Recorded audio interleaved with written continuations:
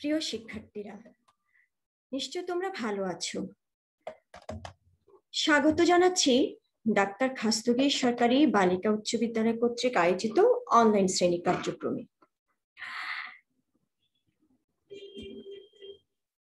এতদিন আমরা আমাদের বাংলা প্রথম পত্রের মূল বই থেকে পাঠ গ্রহণ করেছি।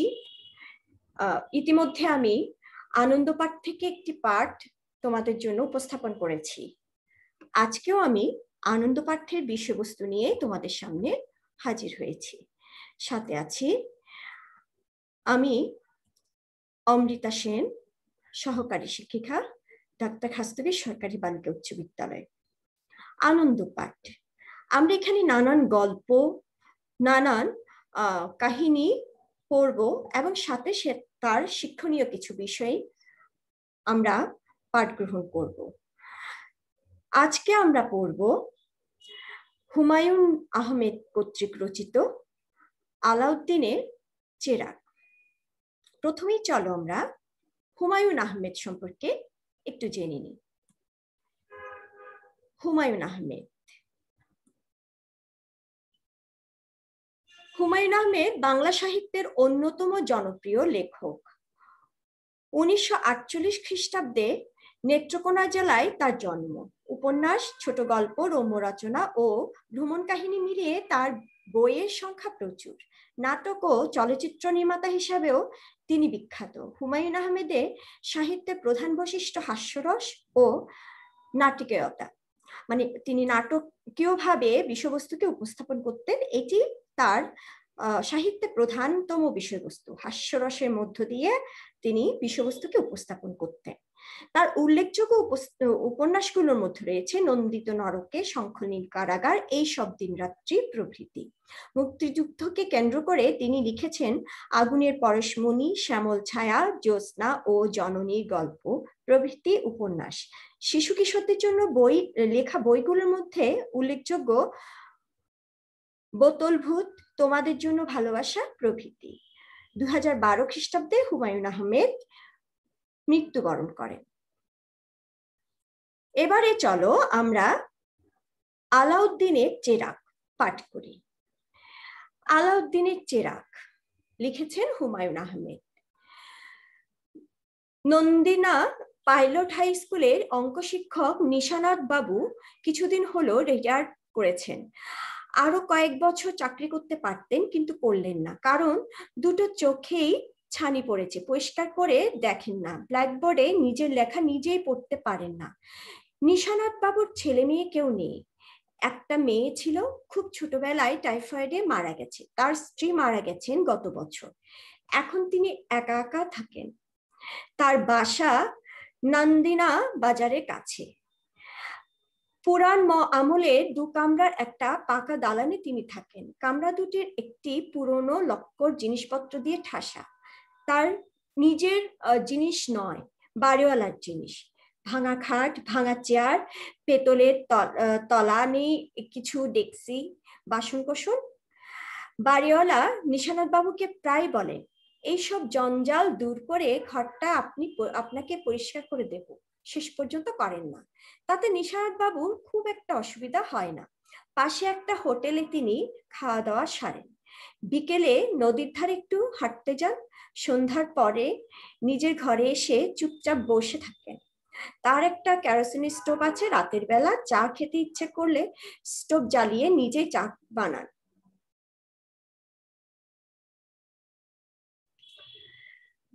জীবনটা তার বেশ কষ্টেই যাচ্ছে, তবে তা নিয়ে বাবু মন খারাপ করেন না। মনে মনে বলেন, আর অল্প কটা দিনই তো বাঁচবো।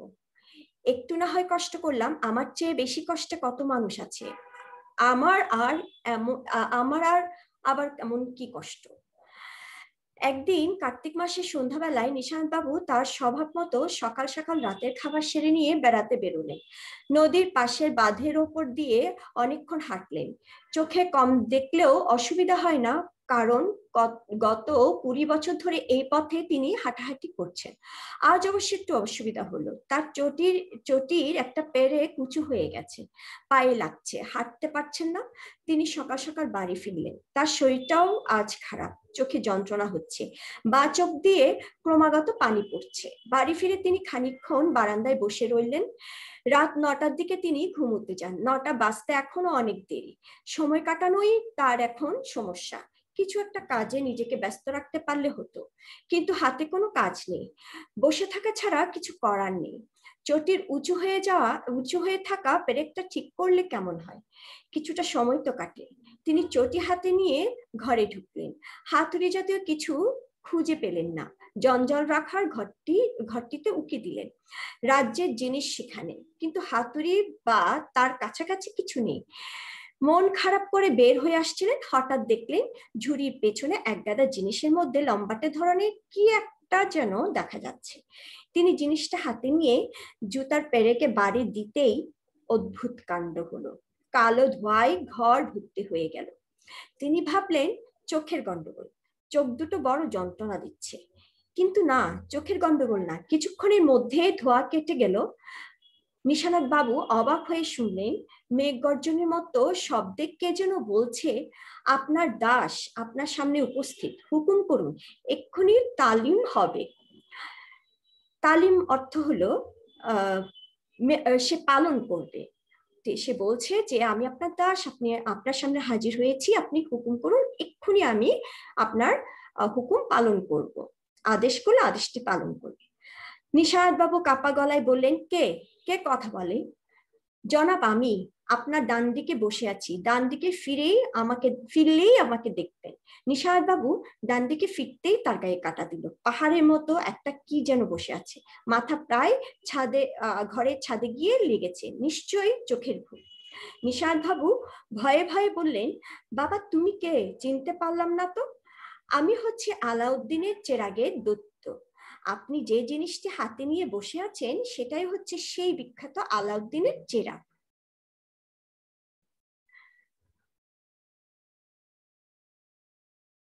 বলো কি? সত্যি কথাই বলছি, জনাব। দীর্ঘদিন এখানে ওখানে পড়েছিল।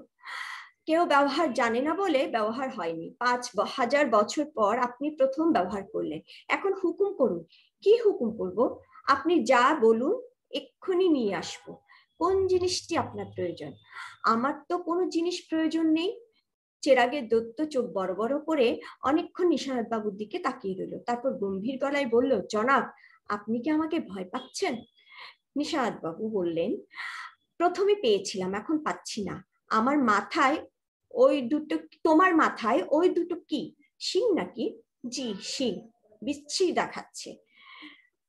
চেরাগের দত্ত মনে হলে একটু বেজায় হয়েছে। মাথার লম্বা চুল দিয়ে সে শিং দুটো ঢেকে দেবার চেষ্টা করল। করতে করতে বলল, এখন বলুন কি চান?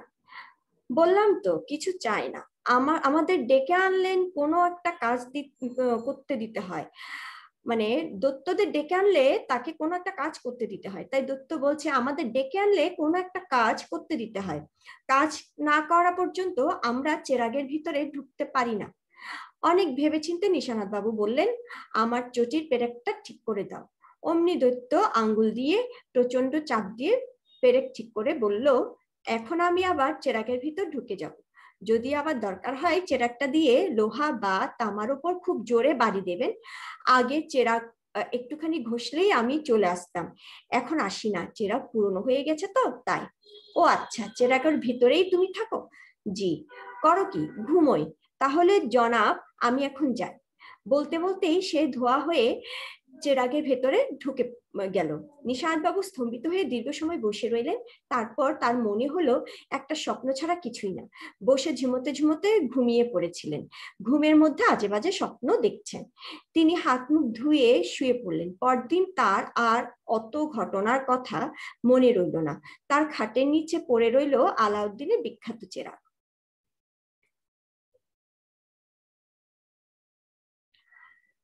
মাসখানেক পার হয়ে গেল। নিশাদ বাবুর শরীর আরও খারাপ হলো। এখন তিনি আর হাঁটাহাঁটি করতে পারেন না। বেশিরভাগ সময় বিছানায় শুয়ে বসে থাকেন। এক রাতে ঘুমোতে যাবেন। মশারি খাটানো খাটাতে গিয়ে দেখেন একদিকে পেরেক খুলে এসেছে। পেরেক বসানোর জন্য আলাউদ্দিনের চেরাক দিয়ে একবারই দিতেই ওই রাতের মতো হলো। তিনি শুনলেন গম্ভীর গলায় কে যেন বলছে, জনাব, আপনার দাস উপস্থিত, হুকুম করুন। তুমি কে? সে কি? এর মধ্যেই ভুলে গেলেন? আমি আলাউদ্দিন আলাউদ্দিনের চেরাগের দৈত্য। ও আচ্ছা আচ্ছা আরেকদিন তুমি এসেছিলে। জি, আমি ভেবেছিলাম বোধ হয় স্বপ্ন। মোটেই স্বপ্ন না। আমার দিকে তাকান, তাহলেই তাকালেই বুঝবেন এটা সত্য। তাকালেও কিছু দেখি না রে বাবা, চোখ দুটো গেছে। চিকিৎসা করাচ্ছেন না কেন? টাকা কোথায় চিকিৎসা করাবো? কি মুশকিল। আমাকে বললেই তো আমি নিয়ে আসি। যদি বলেন তো এক্ষুনি এক পড়শি সোনার মোহর এনে আপনার খাটের নিচে রেখে দিই। আরে না, অত টাকা দিয়ে আমি করব কি? কদিনেই বাবা বাঁচবো? তাহলে আমাকে কোনো একটা কাজ দিন, কাজ না করলে তো চেরাগের ভিতরে যেতে পারব না, পারি না। বেশ, মশারিটা খাটিয়ে দাও। দত্ত খুব যত্ন করে মশারিটা খাটালো। মশারি দেখে সে খুব অবাক। পাঁচ হাজার বছর আগে নাকি এই জিনিস ছিল না। মশার হাত থেকে বাঁচবার জন্য মানুষ যে কায়দা বের করেছে, তা দেখে সে মুগ্ধ। জনাব, আর কিছু করতে হবে? না, আর কি করবে? যাও এখন। অন্য কিছু করার থাকলে বলুন, করে দিচ্ছি। চা বানাতে পারো? জি না। কীভাবে বানায়? দুধ, চিনি মিশিয়ে। না, আমি জানি না। আমাকে শিখিয়ে দিন। থাক, বাদ দাও, আমি শুয়ে পড়ব। দত্ত মাথা নাড়তে নাড়তে বলল, আপনার মতো অদ্ভুত মানুষ জানাব, আমি এর আগে দেখিনি। কেন? আলাউদ্দিনের চেরাগ হাতে পেলে সবার মাথা খারাপ হয়ে যায়। সেটাকে কি করবে সেটা ভেবে? বুঝে উঠতে পারে না। আর আপনি কি না? দত্ত খুঁজে খুঁজে বিশাল এক বালতি নিয়ে এলো। পরশপাত্র সেই বালতির গায়ে লাগাতেই কাঁচা হলুদের রঙের আভায় বালতির চকমক করে উঠল। দেখলেন? হ্যাঁ দেখলাম। সত্যি সত্যি শোনা হয়েছে। হ্যাঁ সত্যি শোনা এখন এই বালতি দিয়ে আমি কি করব? আপনি অদ্ভুত লোক। এই বালতির কত দাম এখন জানেন? এর মধ্যে আছে কুড়ি শেষ সোনা। ইচ্ছে করলে পরশ পাতা ছুঁয়ে আপনি লক্ষ লক্ষ টন সোনা বানাতে পারেন। নিশানাথ বাবু কিছু বললেন না, চুপ করে রইলেন। দত্ত বলল, আলাউদ্দিনের চেরা যে হাতে পায়, সেই বলে পরশ পাথর এনে দেওয়ার জন্য। কাউকে দিই না। দাও না কেন? লোভী মানুষদের হাতে এসব দিতে নেই। এসব দিতে হয় নির্লোভ মানুষকে। নিন, পরশপাত্রটা যত্ন করে রেখে দিন। আমার লাগবে না। যখন লাগবে, তোমার কাছে চাইব। বাবু পাশ ফিরে শুলেন। পরদিন জ্বরে তিনি প্রায় অচেতন্য হয়ে গেলেন। স্কুলের স্যাররা তাকে ময়মনসিংহ হাসপাতালে ভর্তি করিয়ে দিলেন। ডাক্তাররা মাথা নেড়ে বললেন অবস্থা খুবই খারাপ। রাতটা কাটে কিনা সন্দেহ। বাবু মারা গেলেন পরদিন ভোর ছয়টায়। মৃত্যুর আগে নান্দিনা হাই স্কুলে হেডমাস্টার সাহেবকে কানে কানে বললেন, আমার ঘরে একটা বড় বালতি আছে। ওইটা আমি স্কুলে দিলাম। স্কুলকে দিলাম। আপনি মনে হয় করে বালতিটা নেবেন। নিশ্চয় নেব। খুব দামি বালতি। আপনি কথা বলবেন না। কথা বলতে আপনার কষ্ট হচ্ছে। চুপ করে শুয়ে থাকুন। আহ এখানে বালতি বলাতে নিষাদবাবু ভাবছিল যে হেডমাস্টার বুঝি শুধু একটা বালতি দিন তিনি স্কুলকে দিতে চাইছেন সেটাকে নিবেন? তাই তিনি হেডমাস্টারকে একটু বেশি জোর দিয়ে বলতে গেলেন যে বালতিটা খুব দামি, কারণ বালতিটা তার সাথে ছিল সোনা সেজন্য। তিনি বলছিলেন, খুব দামি বালতি। হেডমাস্টার মশাই বললেন, আপনি কথা বলবেন না, কথা বলতে, বললে, বলতে আপনার কষ্ট হচ্ছে, আপনি চুপ করে শুয়ে থাকুন। কথা বলতে আর সত্যি সত্যি কষ্ট তার সত্যি সত্যি কষ্ট হচ্ছিল, নিঃশ্বাস বন্ধ হয়ে আসছিল। বালতি যে সোনার তরি, এটা তিনি বলে যেতে পারলেন না। হেডমাস্টার ওই বালতি নিয়ে গেলেন। তিনি ভাবলেন, বাহ, কি সুন্দর বালতি, কি চমৎকার ঝকঝকে হলুদ পেতলের বালতি। কিন্তু রংটা বড় সুন্দর। দীর্ঘদিন নান্দিনা হাই স্কুলের বারান্দায় বালতিতে পড়ে রইল। বালতি ভর্তি থাকতো পানি। পানির উপর একটা মগ ভাসত। সেই মগে করে ছাত্ররা পানি খেত। তারপর বালতিটা চুরি হয়ে গেল। কে জানে এখন সেই বালতি কোথায় আছে? এতক্ষণ তো আমরা গল্পটা পড়েছি। এবার আমরা তার শব্দার্থগুলো একটু জেনে নিই। চেরাক। চেরাক শব্দের অর্থ বাতি, প্রদীপ। আলাউদ্দিনের চেরাগ আরব দেশে একটি গল্প প্রচলিত আছে। সে গল্পে একটি বিশেষ চেরাগের উল্লেখ আছে, যা ঘষলে চেরাগ বা প্রদীপ থেকে দৈত্য বেরিয়ে আসে। সে দৈত্য চেরাগের মালিক, মালিকের অধীন হয়ে যায়। মালিকের সব ইচ্ছা পূরণ করে সে দৈত্য। চেরাগের মালিক ছিল আলাউদ্দিন। রিটায়ার চাকরি শেষ হওয়ার পরে অবসর নেওয়া, ইংরেজিতে রিটায়ার চোখের ছানি, চোখে এক ধরনের রোগ, চোখের উপর হালকা আবরণ যা চোখের দৃষ্টি কমিয়ে দেয়। ব্ল্যাকবোর্ড শ্রেণীকক্ষে চক দিয়ে লেখা হয় সেখানে।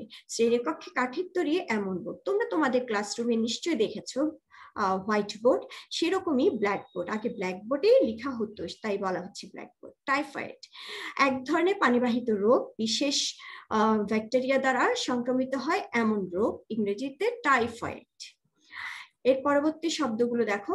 কামরা কামরা হলো কক্ষ। লক্কর ব্যবহারের অযোগ্য এমন পুরনো জিনিস। ঠাসা, বেশি বোঝাই করা, গাদাগাদি করা, করে রাখা। ডেকচি ডেকচি হলো রান্নার পাত্র বাসন কোসন নানা রান্নার বিভিন্ন সামগ্রী, জঞ্জাল, আবর্জনা, কেরোসিনের স্টোভ, এক ধরনের চুলা যাতে কেরোসিন জ্বালানি হিসেবে ব্যবহার করা হয়। চটি চামড়ার তৈরি পাতলা জুতা বা স্যান্ডেল, ক্রমাগত একের পর এক হাতুড়ি, লোহার তৈরি যন্ত্র বিশেষ যা পেরেক ঠোকার কাজে ব্যবহার, ব্যবহৃত হয়। মেঘ গর্জন, মেঘ ডাকার শব্দ, তালিম, শিক্ষা, উপদেশ, এখানে হুকুম বা উপদেশ পালন করা অর্থে ব্যবহৃত হয়েছে। বিশ্রী, অসুন্দর, বেজার, বিরক্ত ও অসন্তুষ্ট, স্তম্ভিত, বিস্ময়ে হতবাক হওয়া, গভীর গম্ভীর গলায় কণ্ঠ শুনতে ভারী মনে হয় এমন। সোনার মোহর, সোনা দিয়ে তৈরি মুদ্রা, মশারি খাটিয়ে মশারির উপরে চারদিকে মশারির উপরে চারদিকটা আটকানো বা আটকিয়ে দেওয়া। কায়দা, কৌশল, মুগ্ধ, খুশিতে মোহিত হওয়া। অদ্ভুত, দেখতে স্বাভাবিক মানুষের মতো নয় এমন রূপকথা। এক ধরনের অসম্ভব কাল্পনিক কাল্পনিক কাহিনী। দীর্ঘশ্বাস বড় কোনো কষ্ট পেয়ে গভীরভাবে বা শব্দ করে শ্বাসত্যাগ করা।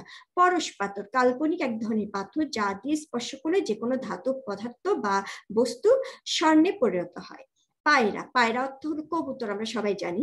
অসম্ভব মসৃণ, খুবই কোমল বা নরম, হলুদ রঙের আভায় দেখতে হলুদের মতো আলোর রং।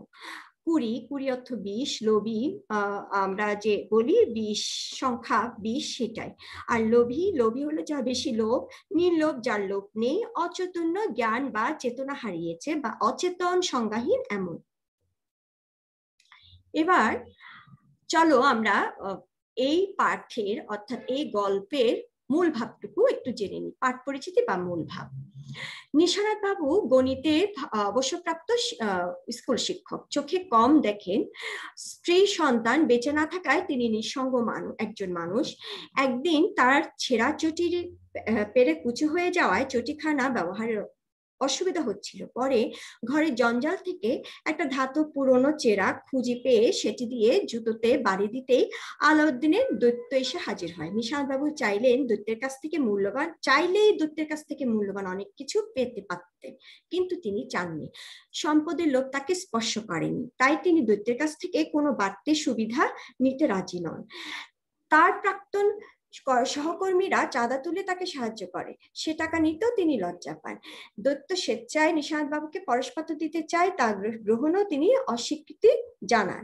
এ গল্পে হুমায়ুন আহমেদ আরব রজনী গল্পে দত্ত চরিত্রের সঙ্গে বাংলাদেশের একজন সাধারণ শিক্ষকের সম্পর্ক দেখায় লেখকের কল্পনা, প্রতিভা ও প্রকাশভঙ্গির নৈপুণ্যে গল্পে উঠে এসেছে একজন নির্লোভ মানুষের ছবি। দারিদ্রে যিনি কষ্টভোগ করলেও থেকেছেন লোভহীন ও মহান। মনুষ্যত্বের প্রবল শক্তি এই গল্পে দারিদ্রকে পরাজিত করেছে। গল্পটি আমাদের আত্মসম্মানবোধ ও আত্মসম্মানবোধ, নির্লোভ মানসিকতা ও মহত্বের পরিচয় দেয়। এতক্ষণ যে গল্পটা আমরা পড়লাম, গল্পের মূল শিক্ষণীয় বিষয়টা হলো, আহ লোভ না করা নিজে যা আছে তা নিয়ে সন্তুষ্ট থাকা। একটি কাল্পনিক চরিত্র আলাউদ্দিনের যে চেরাগ তার যে দত্ত তার সাথে একজন স্কুল শিক্ষক, নিশাদ বাবুর কথোপকথনের মধ্য দিয়ে লেখক বোঝাতে চেয়েছেন যে স্কুল শিক্ষক তিনি নির্লোভ ছিলেন, তার বেশি বেশি কিছু চাহিদা নেই, আর তিনি নিয়েই বা কি করবেন? তিনি শত দরিদ্রের মধ্যে থাকলেও তার যে আত্মসম্মান বোধ, তার যে নির্লোভ মানসিকতা বা মুহূর্তের শিক্ষা, সেটুকুকে তিনি তুলে ধরেছেন। যে দত্ত তাকে একটি সোনার বালতি দিয়ে গেল তিনি সে বালতিটা কিন্তু স্কুলে দান করেছিলেন। তো এখানে এই শিক্ষণীয় বিষয়টুকুই আমরা যতই থাকি না কেন, যতই দারিদ্রের মধ্যে থাকি থাকি না বা অসুবিধার মধ্যে থাকি না কেন, আমাদের লোভ করা উচিত নয়। কোনো লোভে অতিরিক্ত লোভের বশবর্তী হয়ে কোন জিনিস নেওয়া উচিত নয়। এই শিক্ষাটাই এখানে লেখক উপস্থাপনের চেষ্টা করেছেন। উপস্থাপন করেছেন। আচ্ছা এতক্ষণ আমি তোমাদের সামনে শব্দার্থগুলো গল্পটা এবং গল্পের মূল ভাব, লেখক পরিচিতি উপস্থাপন করেছি। আশা করি তোমরা বুঝতে পেরেছ। আমি গল্পগুলোর গল্পটির সাথে প্রশ্ন আজকে আর আলোচনা করছি না। পরবর্তী কোনো ক্লাসে তোমাদের সাথে প্রশ্ন আলোচনা করব। তোমাদের গল্প থেকে একটি সৃজনশীল প্রশ্ন উত্তর করতে হয় পরবর্তী ক্লাসে। আশা করি তোমাদেরকে আমি প্রশ্ন সহ আলোচনা করব। আজ এই পর্যন্ত। ভালো থেকো তোমরা। তোমাদেরকে ধন্যবাদ জানিয়ে আমি আমার পাঠ এখানেই শেষ করছি। ধন্যবাদ সবাইকে।